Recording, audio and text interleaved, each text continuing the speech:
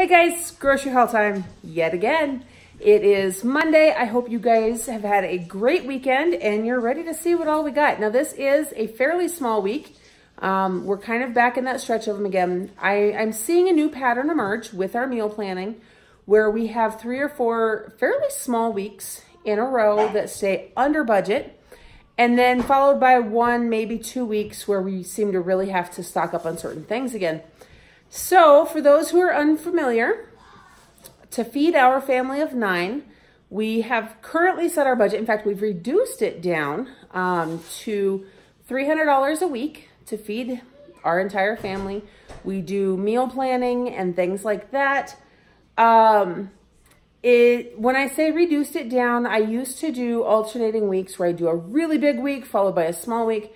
But our small weeks were still $250. Our large weeks were four to $500. Um, so you can do the math on that. It has reduced our monthly total.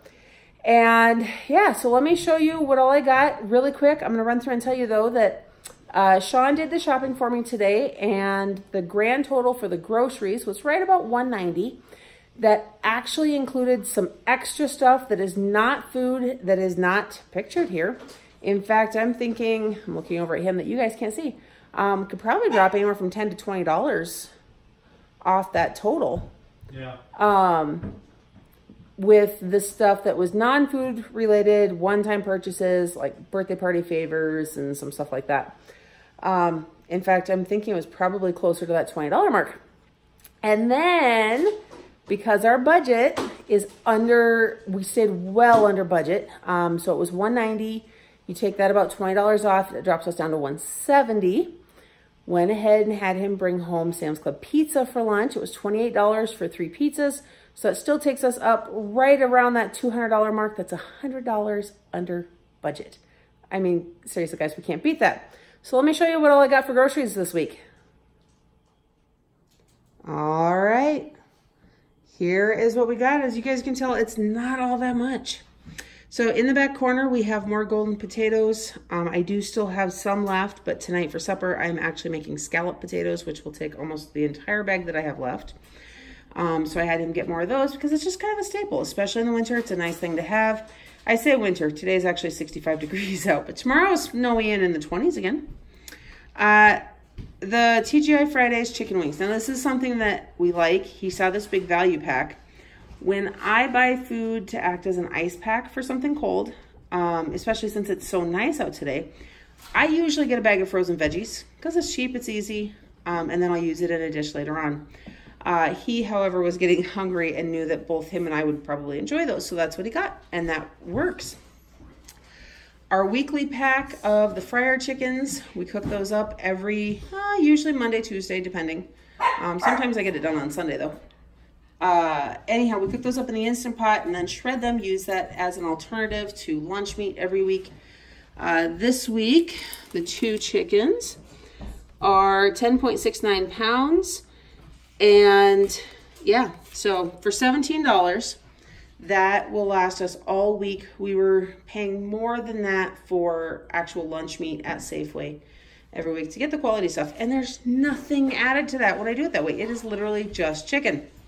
Okay, uh, salted butter from Sam's Club, the butter sticks. The kids have been doing more baking with the holidays coming. We're going to be doing more. I usually like the unsalted for a lot of things, but we've got several recipes calling very specifically for salted, so we needed to get that.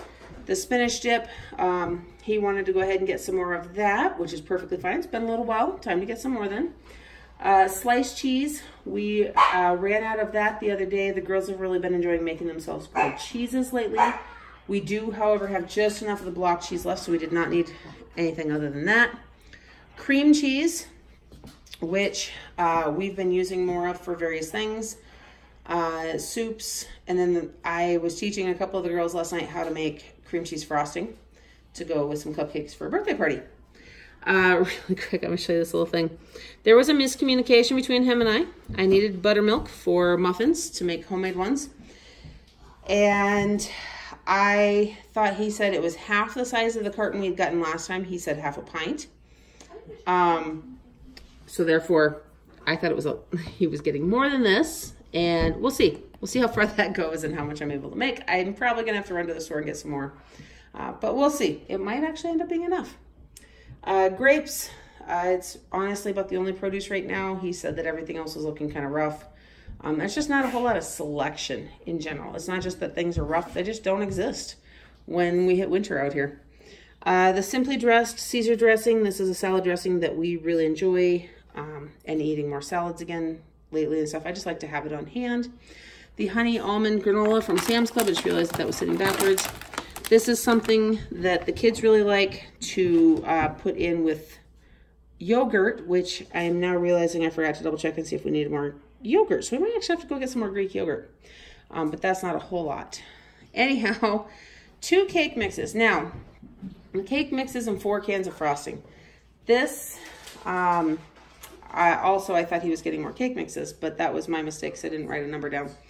Uh, I like to keep these on hand in case we ever need. I, I actually make uh, an egg-free version with the cake mix that you just add 12 ounces of soda.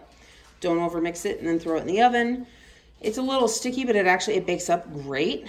And it's an alternative that our allergy kiddos can eat because then there's no eggs and there's no peanuts in it. And then I can have that on hand for them if we ever need. So the frosting is to go with those two. That's why there were four cans of frosting because there were supposed to be more boxes. Uh, honey mustard. Uh, Sean and a couple of the kids have actually been really enjoying honey mustard with their chicken and some other stuff lately. So it's time to get some more of that. Marshmallows. Uh, the, our 12-year-old has actually been working on making marshmallow fondant. Uh, something she's been working on along with baking, and we needed more of that.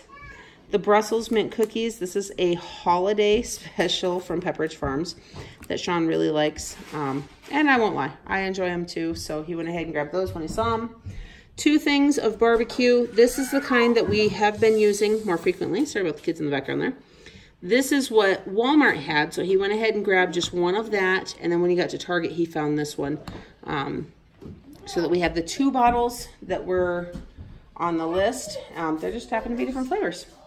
More bubbly water. We are so excited. Sam's has gotten back in the cases of bubbly and that really makes us both excited. He also went ahead and got extra of the blackberry since that's the favorite of both of ours. And then the grape waters are something that he enjoys. Paper bowls because of a birthday party and to have on hand because we don't have any right now. And then these little bottles of soda. Um, the root beer and the orange. This is actually for those cake mixes because these mini bottles are already measured out to 12 ounces. So I don't have to measure anything. I just open a bottle, dump it in with the cake mix, stir it lightly, and bake it. So there it is, guys. That's all we got. Now let me flip this camera around. Okay, so as you can tell, that wasn't a whole lot of food this week. A couple of extras that were not on the list, a couple things we're gonna have to go get. That does happen. It's nothing worth stressing.